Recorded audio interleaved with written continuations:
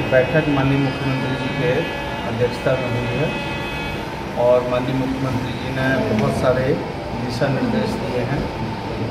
पेयजल विभाग को भी, कृषि विभाग को भी, उसके बाद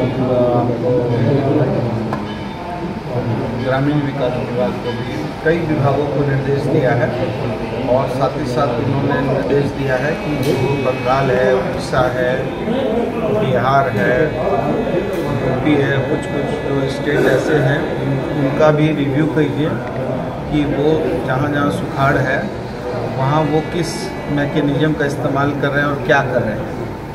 और साथ साथ जो है, किस तरीके से हम अपने जो किसान हैं, मजदूर हैं, उनका पलायन कैसे रोकें और उनको क्या हम राहत दें और किस तरीके से उनको हम अपने ग्रामीण अंचल में रोज़गार से जोड़ें।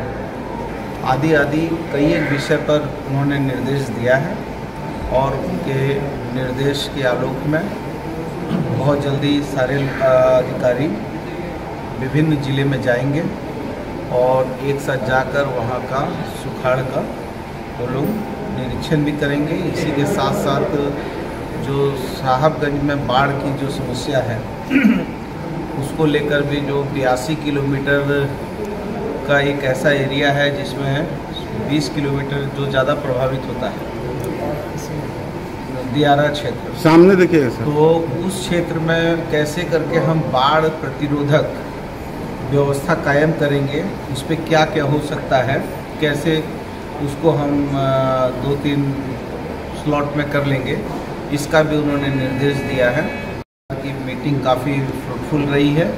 और इसकी समीक्षा करते हुए 12 तारीख को। 12 तारीख को पुनः जो है हाँ पुनः जो है इसकी बैठक में निर्णय लिए जाएँगे कि इसमें भारत सरकार को भी हम लोग पत्राचार करेंगे और साथ ही साथ जो हमारा जो आपदा का जो पैसा है और स्टेट गवर्नमेंट का जो फंड है, उसका भी हम इस्तेमाल करेंगे।